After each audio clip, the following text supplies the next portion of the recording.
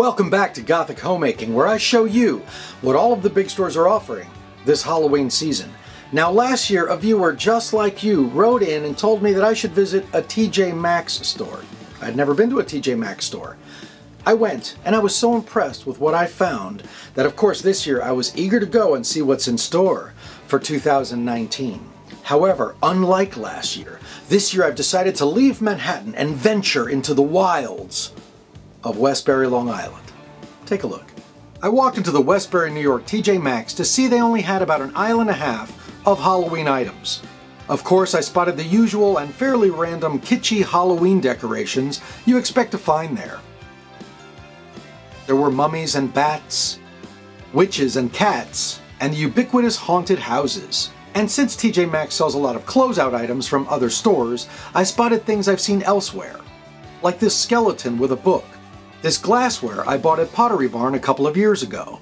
This jack-o'-lantern I recently spotted at Home Goods, a sister store. And this phone I've seen, well, everywhere. But if you're willing to dig, you'll find some gems like this lovely decorative skull with a handsomely sculpted crow on top. This is a great item for those of you who love corvids but don't love taxidermy.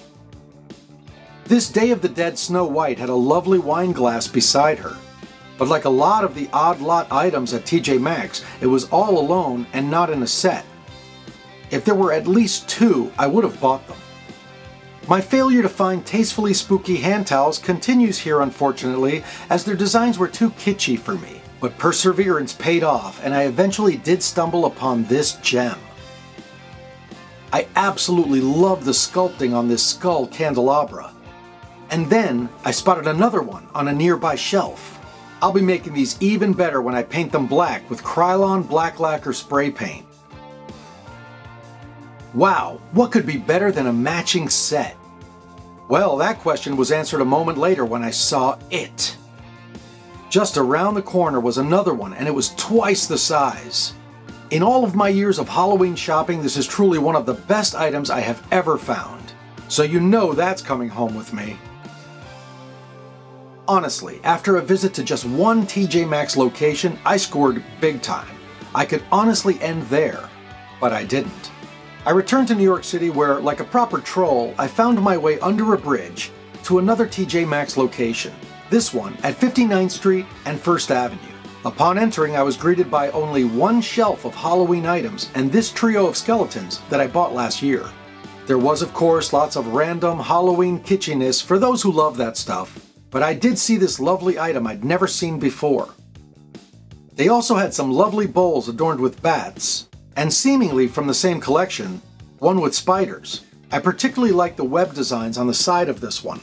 Once again, I struck out in the hand towel section, and strangely enough, also in the throw pillow section, where I usually have some spooky success. In passing, I did see these baking pans, and I thought you gothic gourmets out there might appreciate them and I nearly missed this skeletal goblet set, probably because I was thrown off by the color. And though they're not for me, I bet there's a Grateful Dead fan out there who would love them. And then my fortune changed when I spotted this crystal ball. I don't usually go for the psychic motifs, but this item is absolutely gorgeous, and it's going to be even better when I paint it black. Plus, when you turn it on, it lights up and has an effect that seems like mystical fires burning within. It's beautifully sculpted and it's really quite heavy. This one is definitely coming back to the lair of Voltaire. Heading to the checkout counter, I spotted one of those huge skull candelabras and this one was already painted black. Well, that would have saved me a lot of time. Oh well. There was quite a long line at the checkout counter, and while I stood there like Zoltar cradling my crystal ball, I spotted another of those black skeletal goblets. Dark gods! If I'd known I'd run into another one, I'd have bought the one in Westbury, New York. Blasted. The Limelight is a cathedral that was turned into a nightclub. It was one of my favorite places to go in the 80s. Now, it's a pizzeria and a gym. Just a couple of blocks south, in the Flatiron District, are some beautiful buildings, including one of the prettiest buildings to ever house a Bed Bath & Beyond, a Marshalls, and a TJ Maxx. This 6th Avenue location is our next stop.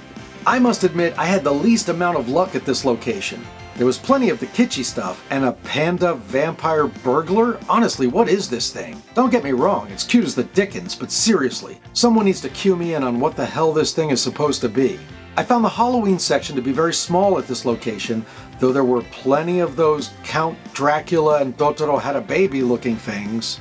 There was a solitary black velvet skull, which are quite popular this year, and it was a red one, which I've never seen before, being heavily creeped on by yet another one of those blood-sucking panda hamburglers.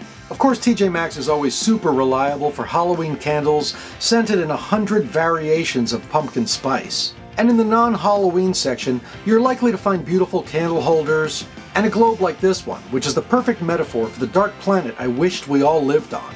Honestly, the only item I found at this location was this skeletal plate from years past, but as usual, it wasn't sold in a set. Sadly, I looked around, but it was the only one of its kind. Now, since Marshall's is owned by TJ Maxx, I popped in and I found a couple of tables with Halloween decor. They had the gorgeous crystal ball I found at the Uptown TJ Maxx, and the skeletal candelabras as well. In fact, they had mostly the same items they sell at TJ Maxx. They also had this lovely headless horseman figure a few of you wrote in to tell me about.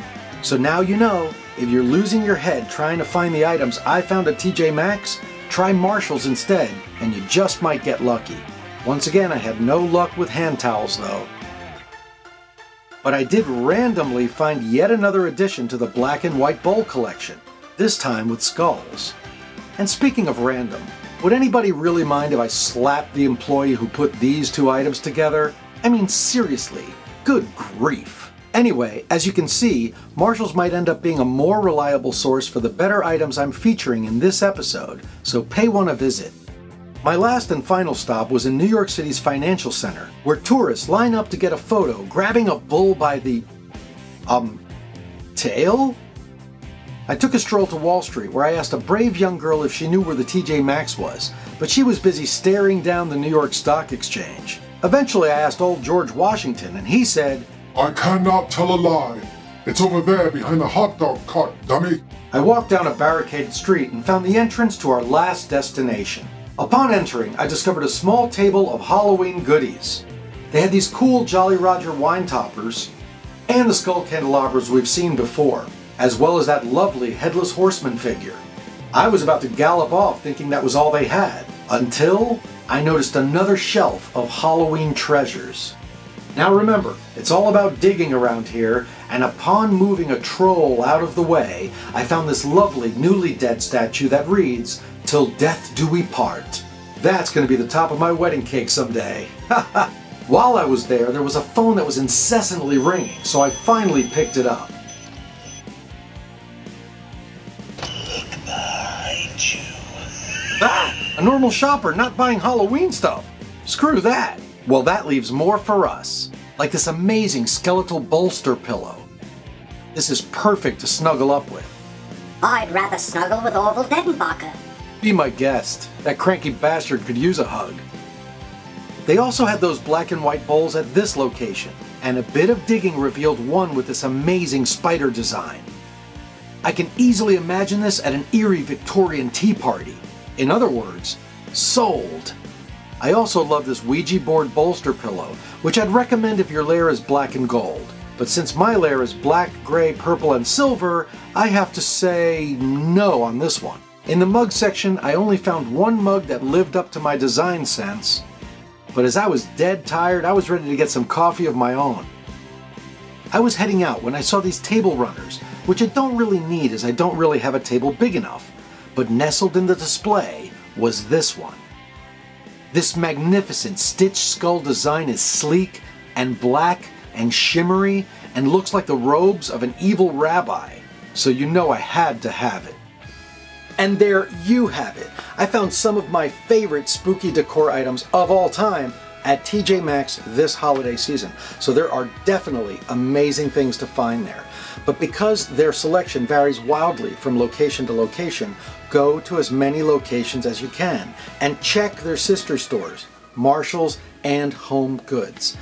If I've learned anything from this experience, it's that if you find one lone dinnerware item or glassware item, buy it because you just might find others at other locations.